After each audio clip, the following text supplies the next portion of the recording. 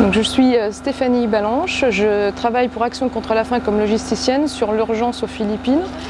Euh, urgence qui s'est déclenchée après le passage du typhon Yolanda le 8 novembre dernier, euh, qui a ravagé la zone de Tacloban, d'Oulag, où donc ACF intervient dans le cadre de ce mandat, c'est-à-dire en sécurité alimentaire, en, nutrition et en eau et assainissement. Euh, les, les be- les besoins sont vraiment toujours extrêmement énormes, euh, même si les choses tentent un peu à se stabiliser après, un mois.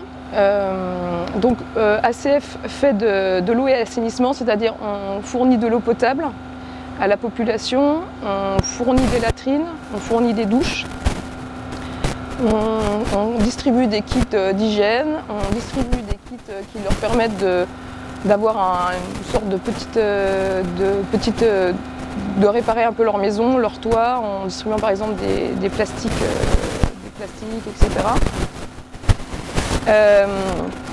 On, intervient dans le cadre de notre mandat sur la malnutrition, donc pour détecter les enfants qui seraient malnutris.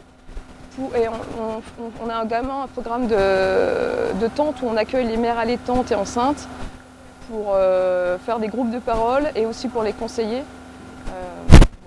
Et puis, dans le cadre de la sécurité alimentaire, dans la toute, première phase, on a distribué des, biscuits énergétiques.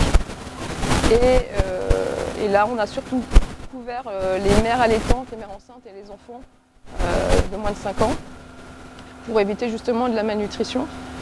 Et aujourd'hui, on, intervient, on fait des distributions alimentaires de nourriture, telles du riz, de l'huile, du sucre, du sel, des sardines.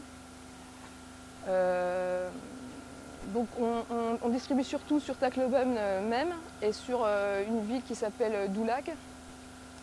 Euh, on fait des distributions, on, essaie de, de- on essaie de couvrir donc, les zones quand elles le plus ravagées, où les, gens ont perdu euh, leur maison, tout ce qu'ils tout ce qu'ils possédaient. Euh, euh, par exemple, sur euh, la commune de Doulag, on a distribué environ euh, pour 2000 familles. Euh, et là, on va essayer de, finir euh, la distribution sur Tacloban dans les jours à venir. Euh, Aujourd'hui, ça fait donc euh, un peu, plus d'un mois que le, typhon est, passé euh, ici. Et même si on, sort de la première phase d'urgence, euh, les besoins sur place restent énormes.